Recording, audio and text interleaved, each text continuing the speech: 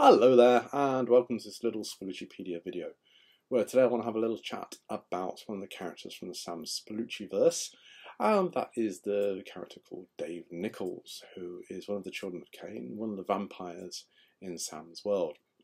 We first meet Dave in the case of the Vexed Vampire um, which is one of the five cases in Sam's first outing uh, casebook and he is this owner of a little comic book shop in Lancaster down on North Road, which is actually based on a real one called Interstellar Master Traders, um, closed down some years ago now. But it used to be one of the sort of like the real high points of Lancaster as a real institution. And Dave is at this Comic Con in Lancaster trying to promote his business. He's dressed, as it happens, like Spock, the original, not the remake, as he quite you know, openly says he's not a fan of the new one and he gets hit by a car and is left fatally wounded. Now, as it happens, that car contains a construct which Marcus and Nightingale are trying to track down, trying to kill. So they feel responsible, well, at least Nightingale certainly does, feels responsible for what's happened to Dave. So she does what she sees the only thing that's possible, and she starts to convert him into a child of Cain. Problem is, they get interrupted, and the job as it's referred to later on in the book, is a Friday night special. It's not really completed.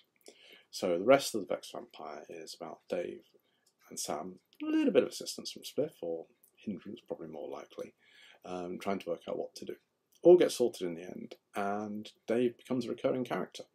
Uh, we have him in the three short stories, um, the modern day ones in the Children of Cain omnibus, and he returns with the other Children of Cain in Dark Justice when Justice the King is on his little rampage slash vendetta through Lancaster, taking out constructs and evildoers alike.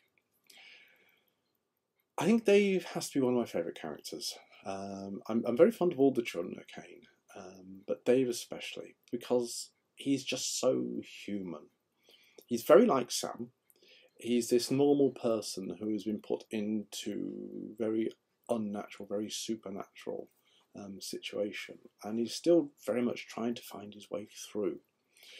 One of the traditions of the children of Cain is that they should take a new name when they become a vampire. Um, Nightingale, for example, when she was a girl, was called Esther. Um, Scorpion was the prophetess Cassandra. Um, so they've all taken this new name, and it's supposed to be a representation of their personality to a certain extent. And Dave by the time we reach like book four in the Sam Spallucci series, hasn't found that identity yet. He's still not taken a name. Um, this is going to be the case again in book six, um, Fury of the Fallen, where he's going to crop up again. Um, he's still just plain Dave. You know, he's not taken on some wonderful, you know, singular name. You know, uh, like um, the Slayer or um, even I know Bob the Almighty, you know, whatever.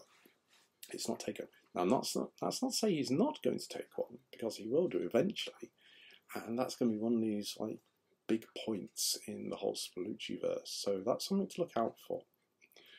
Um, Dave obviously has his relationship with his mother, um, Nightingale. Uh, she is very much his mentor, especially as her role in the the Society of the Children of Cain has to up itself, as it were, um, during the events of Dark Justice. Again, not trying to say too much, spoilers there. And Dave sort of like gets dragged along with that. You know, he sort of like becomes important by proxy. Um, he obviously has close relationships with Marcus because she is Nightingale's hunting partner. Uh, close relationships with Scorpion and Tigress because they just seem to be along for the ride anyway. So we're going to see a lot more of how his character develops over the books, and he will become more and more central, um, especially when we get into like the last three books of the whole Spookyverse, which deal with the Divergent Lands. He's going to have an exceedingly central role. So again, just you know, watch this space for that one. Now, um, as with many characters in Spallucciverse, there are some elements of reality there. Um, Dave, like a lot of the others, is to a certain extent based on real people. Um, I've basically taken people who I know, people who I like, and I said, well, you know, what qualities could they bring to this character? So he's it's like a mishmash of all the people I know, just very normal, very down to earth, and get on with their life, really. Um, but there is one specific scene in the case of the Vex Vampire which is actually based on reality, and that's the scene at um, Sugar House nightclub where Dave experiences alcohol as a vampire for the first time and gets completely inebriated and then goes and throws up. Um, that is actually based on the chap who I knew when I was a teenager who was called Dave. And he lost it one night, got so drunk he couldn't stop throwing up. So that's how Dave Nichols the vampire got his name from a very, very inebriated teenager. I wonder how many characters out there are like that. Oh well. I hope you enjoyed that, and there'll be another one of these little videos along soon. Take care and stay safe. Bye bye.